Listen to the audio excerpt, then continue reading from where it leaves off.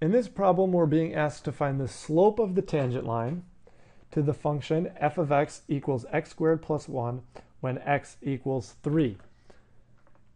So we know the derivative tells us the slope of the tangent line, so that's a good place to start. And let's start by just writing out the definition of the derivative. So the definition is the limit as h approaches 0 of f of x plus h minus f of x divided by h. So this is the definition, and, and how do we use it now? Well, we have a function, so we can just plug these values into the function, and then we also have uh, an x, uh, an x value, so we can plug that in for every x we see. So let's get started. First of all, let's plug in 3 into these x's.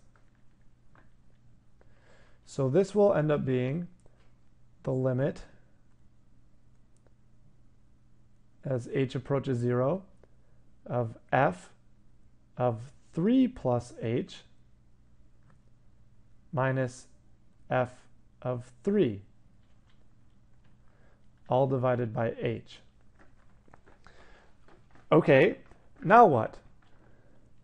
Well, now we just plug in this 3 plus h into every x we see. So we just cram it in for x, and the same thing here. We take this 3 and we cram it in for x. So let me show you what I mean.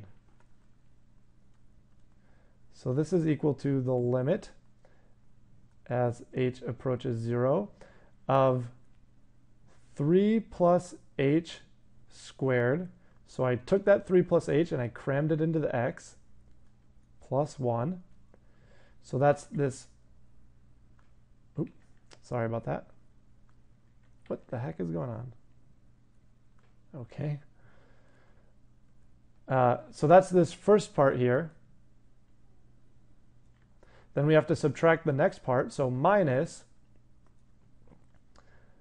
uh, and we're going to do the same thing. We're just going to plug 3 in for every x. So 3 squared plus 1. So that's this part here. Okay. And this is all still divided by h. And now we just have some simplifying to do. This is just a limit. We've learned how to do lots of limits, uh, ones that are, are somewhat similar to this. So let's just go through that process. So this is going to be the limit as h approaches 0. Uh, let's expand this. So that's going to be 9 plus 6h plus h squared plus 1 so that's that first bit here, minus 9 minus 1 divided by h. So that's just a little bit of algebra. All I did was expand this term, and I distributed this negative sign. Okay, so now we have a, a, a, bunch of canceling to do. We have a plus 1 and a minus 1, a plus 9 and a minus 9.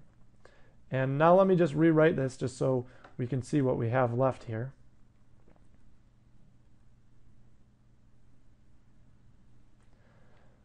Uh, we're left with a 6h plus h squared divided by h. And now we can factor an h out of the numerator. So this is the limit as h approaches 0 of 6, sorry, 6 plus h times h. So I just factored out an h divided by h. And now I can cancel these h's.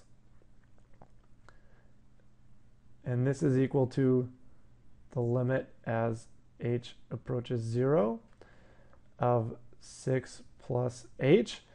And now we know from limit our, our limit properties, we can plug this 0 in for h and, and just solve our limit. So this is going to be equal to 6 plus 0, which of course is just equal to 6.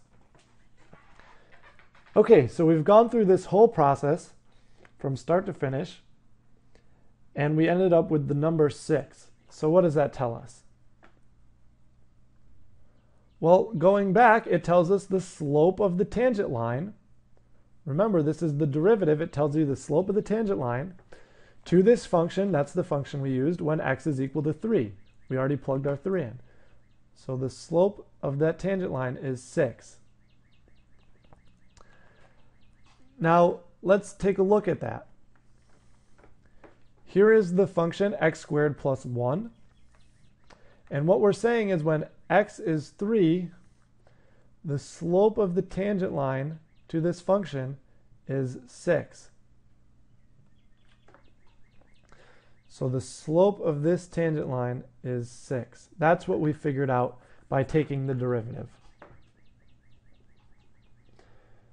Okay, so this video is about six minutes long. Uh, I went through every step uh, relatively slowly, so you should be able to solve these problems uh, pretty quick if you understand everything.